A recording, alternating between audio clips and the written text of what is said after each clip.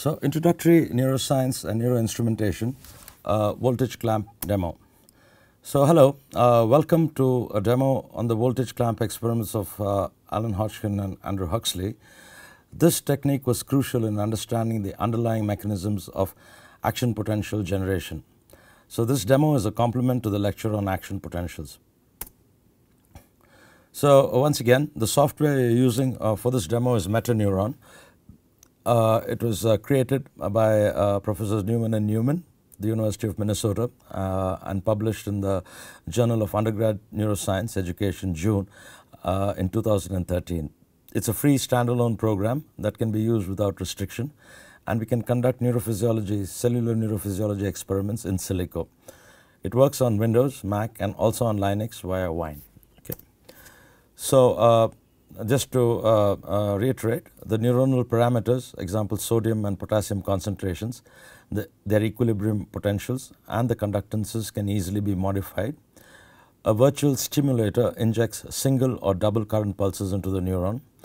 Uh, responses are displayed graphically and can be measured with the cursor. And uh, families of traces can be easily generated and viewed in a rotatable 3D plot.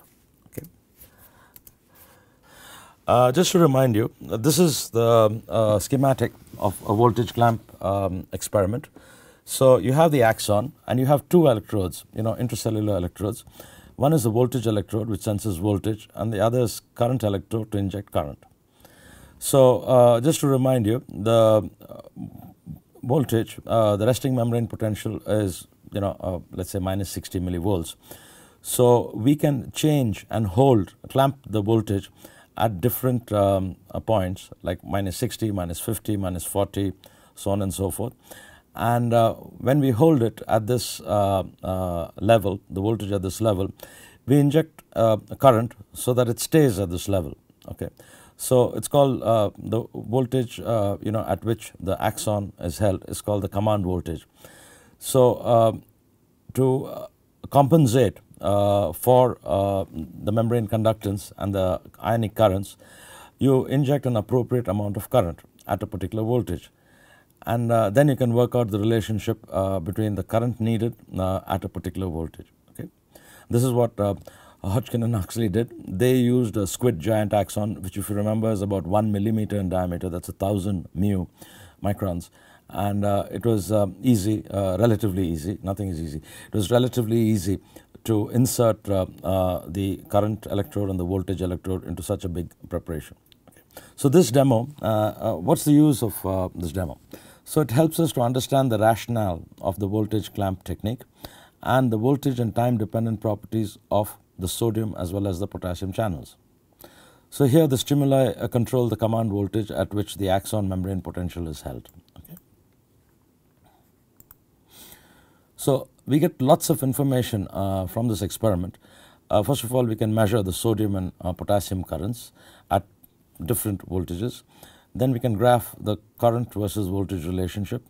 We can calculate conductance versus voltage relationship. If you remember conductance maximum uh, uh, GNA is uh, um, sodium conductance and GK is potassium conductance and their G max reflects or is directly proportional to the actual number of sodium channels or potassium channels. Okay. We can also plot the time course of recovery of sodium channels from inactivation using a two pulse stimulus technique. Okay. And uh, the temperature dependence of uh, channels uh, can be checked out. The slowing of potassium channel activation and sodium channel inactivation with cooling decreases the action potential threshold. And this is the basis of multiple sclerosis therapy. If you remember, MS uh, causes you know demyelination. It's an autoimmune disease where the body's antibodies attack its own uh, myelin, and uh, you have slowing of conduction and then finally conduction failure, and it usually affects uh, uh, women in the age group of 20 to 40 Caucasian women, and um, there is no definitive therapy, but if you cool the body. you know, you can restore conduction, and this is the reason. So, we can generate a family of curves okay, by um, uh, using a different range uh, of amplitudes and uh, we will show you this uh, in the demo. And uh, this is the screen for the demo. So I shall get into the demo without any further, you know. So the exercise exercises you can do different exercises. So one you can um, generate sodium and potassium voltage clamp currents, and you get, as I said, a family of voltage clamp traces uh, by using range functions. You can block sodium uh, currents with tetrodotoxin TTX and uh, potassium uh, outward currents with uh, tetraethyl ammonium and um, see each current in isolation. And you can look at potassium and sodium current voltage and conductance voltage relationships. And you can also look at recovery of uh, uh, sodium channel inactivation by using two stimuli. Okay. This is the metaneuron um, uh, screen and we choose the lesson 5 which is the axon uh, voltage clamp and um, here uh, just to go over some of these parameters. So, the membrane parameters uh, on the extreme left on the top you have the sodium equilibration potential as usual we are keeping it at 50 plus 50. Then we have uh, conductance of sodium so GNA max and uh, this is millisiemens per uh, centimeter squared okay.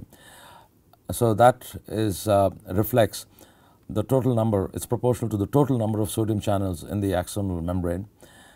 Then below that you have the potassium equilibrium channel kept at a usual value of minus 77 and then you have uh, the maximum potassium conductance uh, which is 70 okay.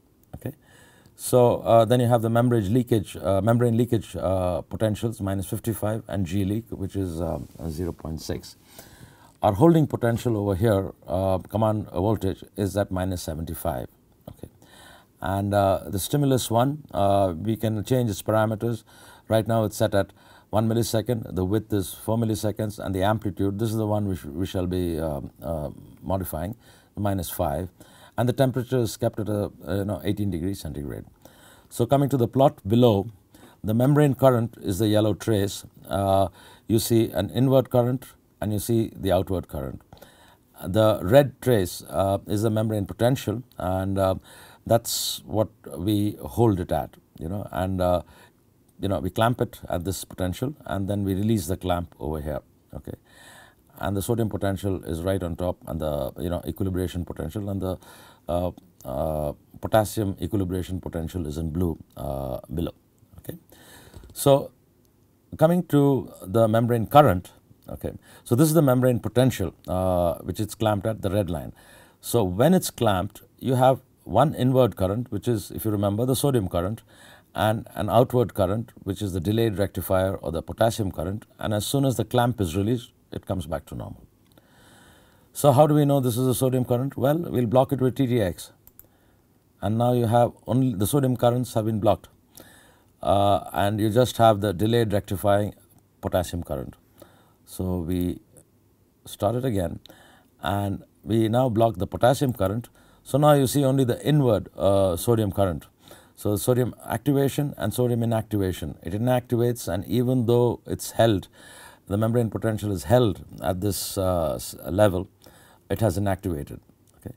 So, let us bring it back.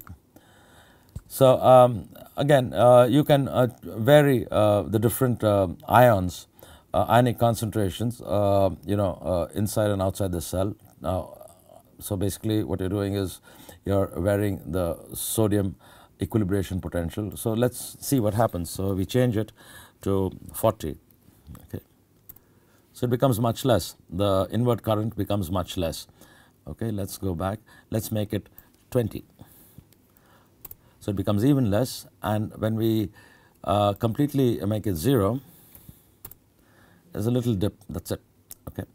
So let's go back to uh, defaults and we can do the same thing with the potassium equilibration uh, uh, potential. So if we change this to minus 50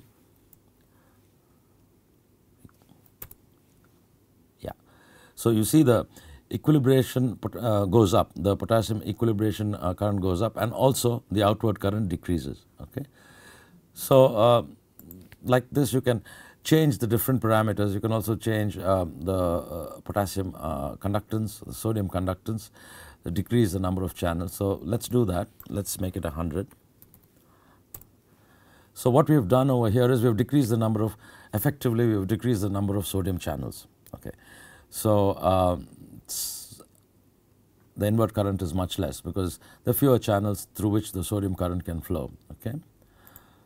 So we restore it all to defaults and likewise uh, we uh, decrease the potassium um, conductance and uh, the outward current decreases. The inward current remains unaffected but the outward current which goes through the potassium channel decreases. Again what we have done is we have reduced the number of potassium channels. Okay. So uh, let's uh, let's do a family of curves. Okay, so we change the amplitude. Okay, uh, we have a range, and now uh, we have a range. The beginning value is minus 75, the end value is plus 70, and we incremented by 10. Okay, and you see this graph.